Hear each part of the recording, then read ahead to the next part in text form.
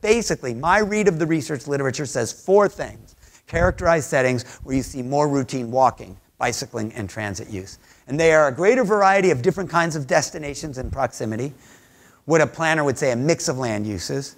Two, a good connected network of facilities for active travel, so walking, bicycling, think sidewalks, bicycle lanes, pathways, multi use trails. Three, when I get to a destination, it is designed to reward me rather than punish me for showing up without my car. Think about most of what we've built in the last 30 or 40 years. It says, show up with your car, I'll show you right where to park it, but you want to get here on foot. I don't even know how you get to the front door, frankly, if you're on foot or on a bicycle right? And then the last one is it's got to be safe and accessible for everybody in the community, all ages, all incomes, all abilities and disabilities. Somebody in a wheelchair or pushing a, a stroller or pulling a grocery cart, somebody who's visually impaired or blind.